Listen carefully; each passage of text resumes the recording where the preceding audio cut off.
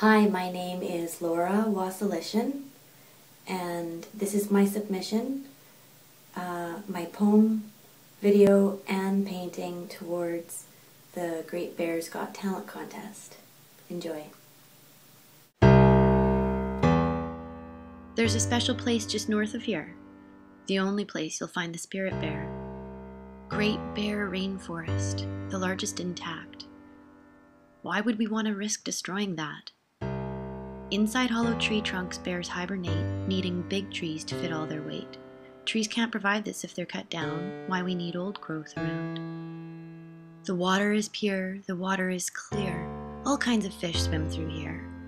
Kermode bears fishing all day long, sometimes where the salmon spawn. If we are conscious, if we're aware, we'll save our spirit bear.